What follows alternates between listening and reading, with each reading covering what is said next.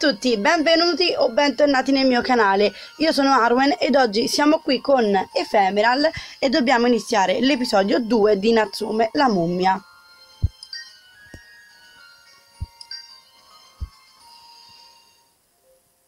Dopo un incubo.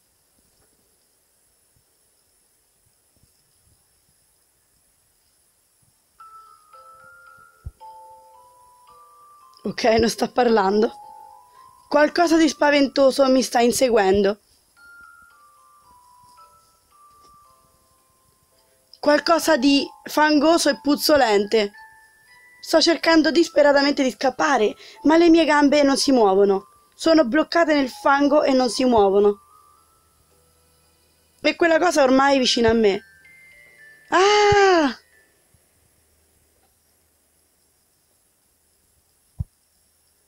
Ah, ah, era solo un sogno. Mi asciugo tutto il sudore sulla fronte, sentendomi sollevata. Quando mi volto vedo la luna luminosa fluttuare fuori dalla finestra. Ah, mi devo svegliare e prepararmi per andare a scuola. Abbasso la testa sulle coperte. Mi sono appena svegliata, ma a causa dell'incubo mi sento molto stanca. Non avrei mai pensato che sotto le bende di una mummia ci fosse qualcosa di così terribile. Forse non avrei dovuto essere così curiosa. Ieri il dottor Robin mi ha fatto vedere cosa c'è sotto le bende e prima di vedere tutto sono svenuta. Dopodiché mi sono svegliata nel letto dell'infermeria, ma non ho visto Natsume. Quando mi sono resa conto che mi aveva lasciata lì, ci sono rimasta male e alla fine sono tornata a casa da sola. Ah, mi alzo dal letto barcollando e inizio a prepararmi.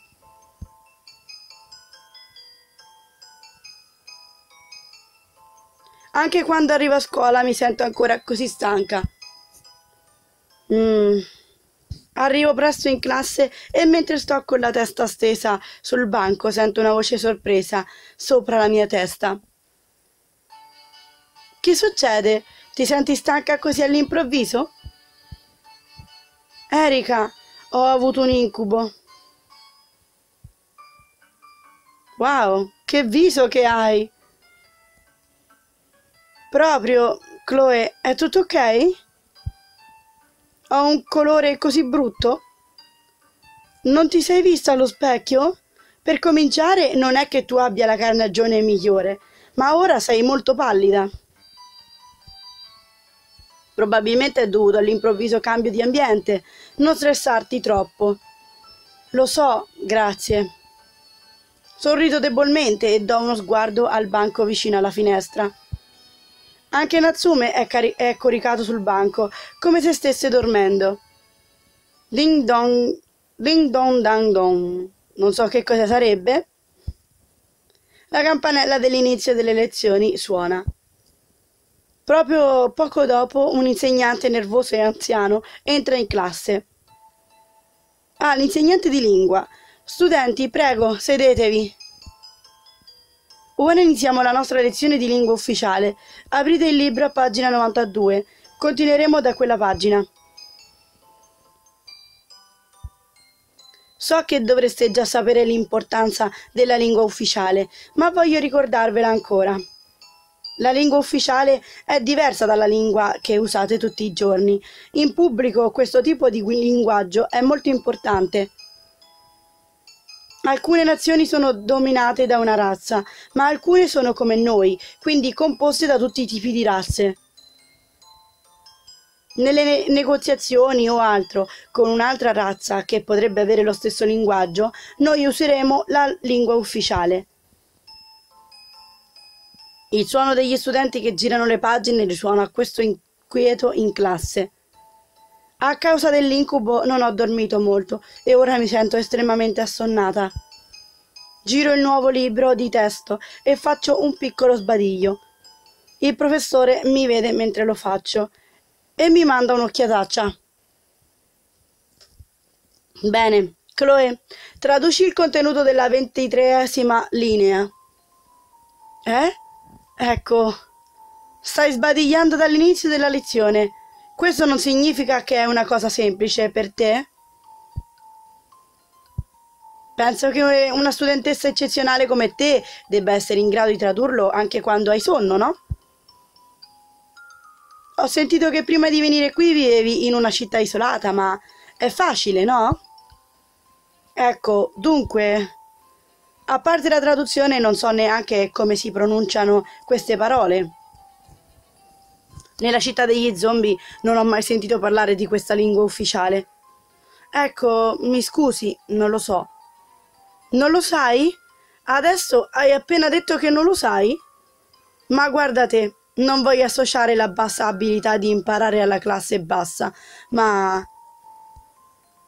Ma quelli che hanno i voti peggiori sono quelli che appartengono alle classi basse.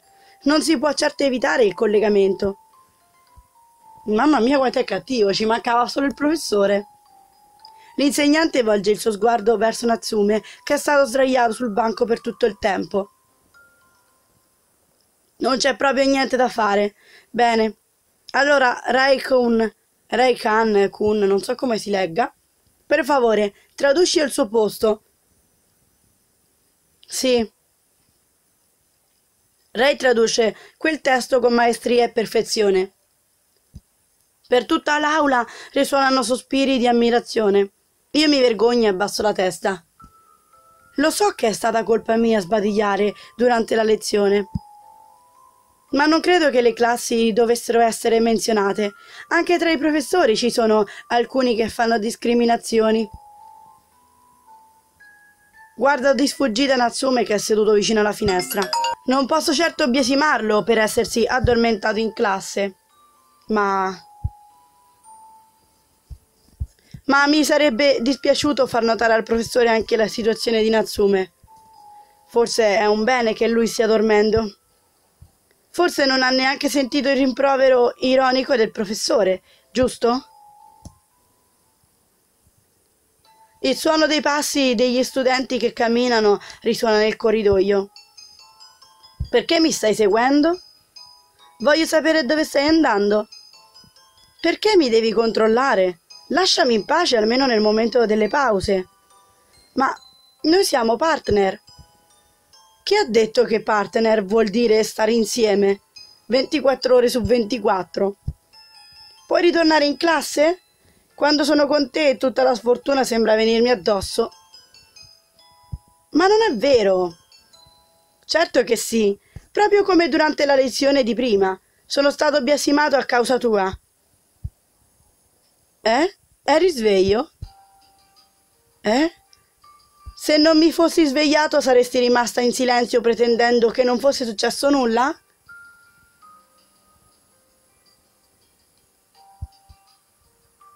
Wow, una donna con una mente distorta è così incredibile. Mm, non intendevo nasconderlo o altro. Non mi fa né caldo né freddo che quel professore mi dica quelle cose, ma... Non mi piace essere intrigato in problemi di cui non ho bisogno. Sì, ma non andava bene dormire durante la lezione. Mi manda uno sguardo molto severo e realizzo che non avrei dovuto menzionarlo. Cos'è? Dai la colpa a me? Scusami. Ah, ehi, la faccia di Natsume ora è molto scocciata. Perché ti scusi? Sei un idiota? Addormentarsi durante la lezione era un mio errore, no? Per quello il professore si è poi riferito a me. Anche se potevi tradurre quel testo, penso che il professore mi avrebbe comunque detto qualcosa. Lui lo fa sempre. Sempre? Questo significa che dorme sempre. Ti ho solo spinta un po' e tu sei stata così veloce a scusarti. Cos'hai che non va? Il confronto non importa quante volte ti dico di starmi lontana, ma tu continui a seguirmi. Non riesco a capirti. Sparisci. Eh... Sento il petto stringersi. Questa è la prima volta in vita mia che affronto un'ovvia ostilità di, da qualcuno. e non ho idea di come rispondere o reagire. Mm, facciamo voglio diventare tua amica.